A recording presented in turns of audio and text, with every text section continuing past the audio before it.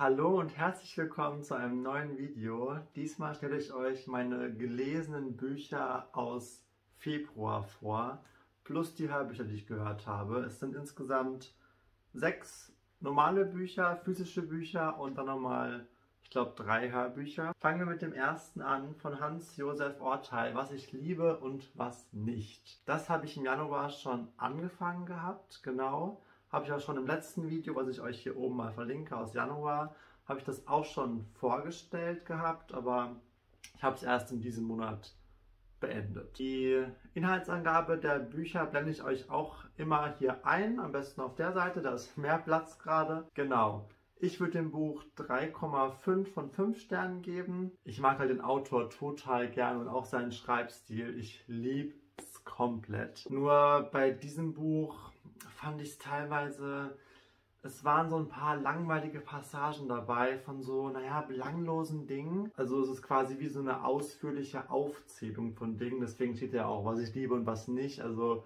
es ist jetzt keine so Stichpunkte, das jetzt nicht, aber er schreibt halt über verschiedene Dinge sehr ausführlich und manche davon haben mich einfach überhaupt nicht gecatcht. Ja, man muss es einfach mögen. Es ist aber jetzt in dem Sinne keine klassische Story. Also es ist kein klassischer Roman von vorne bis hinten.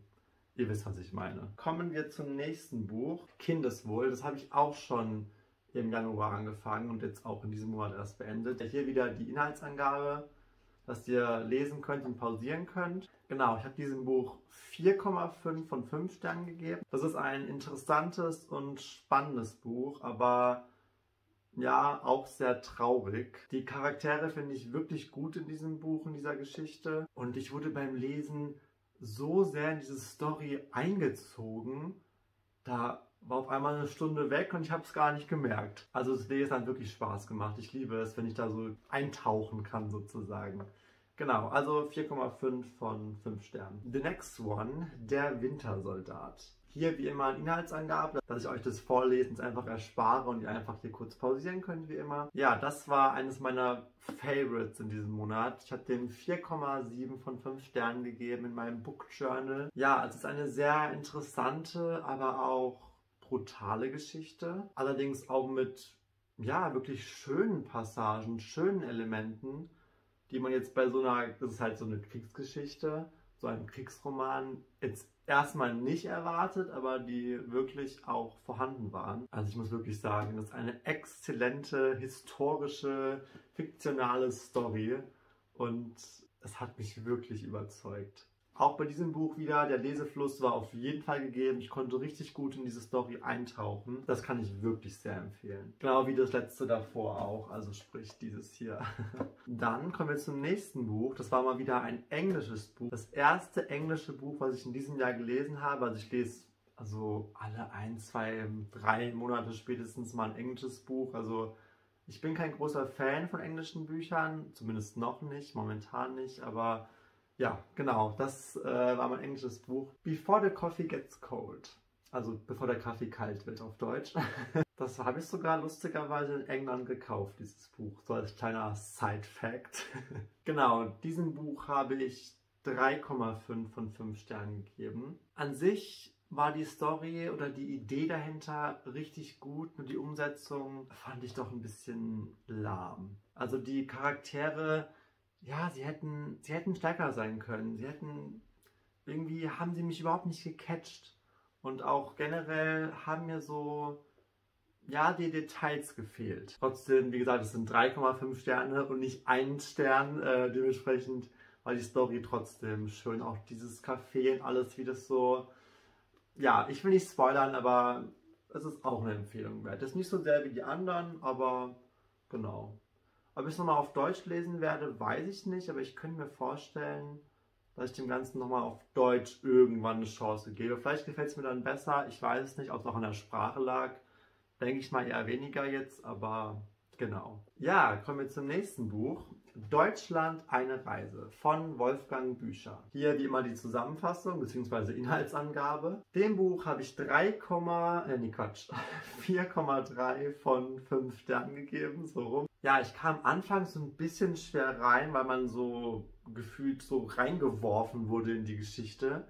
Aber dann war es einfach super. Also der Autor hat eine tolle Art, Menschen und Landschaften zu beschreiben. Es hat mir richtig, richtig gut gefallen. Und auch die Thematik, ich fand es richtig interessant. So, ihr müsst wissen, ich liebe Deutschlandreisen und das, naja, wie ja schon im Titel, es war wundervoll. Also der Autor ähm, läuft quasi einmal in Deutschland herum, einmal an der Grenze entlang und irgendwie nach dem Lesen oder auch schon währenddessen hat mich richtig die Reiselust gepackt.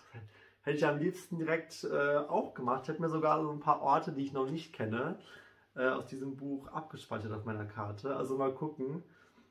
Ach, fand ich, fand ich echt toll. Ähm, ja, genau. Und lustigerweise von dem gleichen Autor habe ich ein Buch angefangen. Da habe ich aber erst so zehn Seiten gelesen. Also das erwähne ich einfach nochmal ganz schnell hier. Ähm, das heißt Heimkehr. Da kann ich nicht viel dazu sagen. Habe ich erst in zehn Seiten oder so gelesen. Aber genau, da wird es dann im nächsten Monat meine Bewertung dazu geben. Also folgt mir gerne hier auf YouTube, wenn ihr es noch nicht gemacht habt. Abonniert diesen Kanal gerne, dann verpasst ihr nichts mehr von meinen Buch-Content-Videos, was ich im Monat lese, in der Woche lese, was auch immer. Oder Lost Places oder generell Reisen, alles Mögliche. Genau, das waren jetzt erstmal die normalen Bücher. Jetzt kommen wir noch zu den Hörbüchern. Da das gleiche Spiel, hier wieder die Inhaltsangabe plus das Coverbild, weil ich jetzt nichts zum Vorzeigen habe, weil ich alles äh, am Handy höre, also nicht auf CD oder sowas. Genau, das nächste Buch heißt, wie ihr hier seht, das unglaubliche Leben des Wallace Price von TJ Klune. Und dem Ganzen gebe ich 4,5 von 5 Sternen. Das war einfach das war ein tolles Hörbuch. Also sehr humorvoll und gleichzeitig wurden ja, schwere Themen damit kombiniert. Also sehr raffiniert gemacht, dass das alles so gut kombiniert wurde. Und ja, auch die Charaktere sind wirklich einzigartig, die man sich ja gerne in Erinnerung behält. Genau, also kann ich sehr empfehlen, dieses Hörbuch. Das nächste Hörbuch, wie ihr hier seht, heißt Im Wasser sind wir schwerelos von Thomas Schredrowski. Sorry, falls ich es falsch ausspreche. Das war mein liebstes Hörbuch des Monats, nämlich mit 4,7 von 5 Sternen habe ich das bewertet. Das war eine Top-Story, hat mich auf jeden Fall gepackt. Ja, beim Lesen war ich ein bisschen melancholisch an, an vielen Stellen und wow, ich war einfach hin und weg von der Geschichte. Leider war sie ein bisschen zu kurz und ich hätte gern noch weiter äh, gelesen bzw. gehört. Also ich wollte einfach mehr von der Geschichte haben, aber es war zu Ende und dann kann man, kann man nichts machen. Genau, also klasse geschrieben, man kann da auf jeden Fall gut mit dem Helden mitfühlen und ja, auf jeden Fall eine absolute Empfehlung, dieses Hörbuch. Hört es euch an, wo auch immer, macht es. Kommen wir zum letzten Hörbuch, Ein Hof und elf Geschwister von Ewald Frie. Das habe ich erst heute ganz frisch zu Ende gehört und dem Ganzen gebe ich 4 von 5 Sternen. Hat echt Spaß gemacht zu hören. Ich fand es auch richtig interessant mal so eine andere Perspektive äh, zu haben, weil ich jetzt zum Beispiel nicht auf einem Bauernhof aufgewachsen bin und das dementsprechend echt äh, cool fand, ja, mal sowas zu hören. Leider auch bei diesem Hörbuch, es war viel zu kurz, also man hätte da auf jeden Fall noch mehr ins Detail in die Tiefe gehen können. Ähm, fand ich ein bisschen schade. Ja, ich hoffe, ich habe nichts vergessen. Das waren die ganzen Bücher und Hörbücher. Falls ihr noch Fragen habt, fragt mich, was ihr wollt, unten in den Kommentaren. Ich würde mich darüber freuen. Genau, das war dieses Video. Bisschen kürzer diesmal. Ihr könnt mir auch gerne bei Insta oder so schreiben, ob ihr das besser findet. So, ich die Zusammenfassung einfach nur einblende, die Inhaltsangaben, sorry, ähm, und dann nur meinen Senf dazugebe oder ob ich wirklich alles vorlese. Weil ich glaube, so es ist besser, man kann gezielter äh, gucken, es zieht sich nicht so in die Länge. Ich bin noch am Testen. Es war das zweite Langformat-Video zum Thema Bücher und Lesen auf meinem Kanal. Hat mir wieder sehr Spaß gemacht, hier in der Sonne zu sitzen und das euch zu präsentieren. Ich hoffe, es hat euch gefallen. Gebt mir gerne einen Daumen hoch oder die Bewertung, die ihr möchtet. Habt einen schönen März und bis zum nächsten Video. Macht's gut.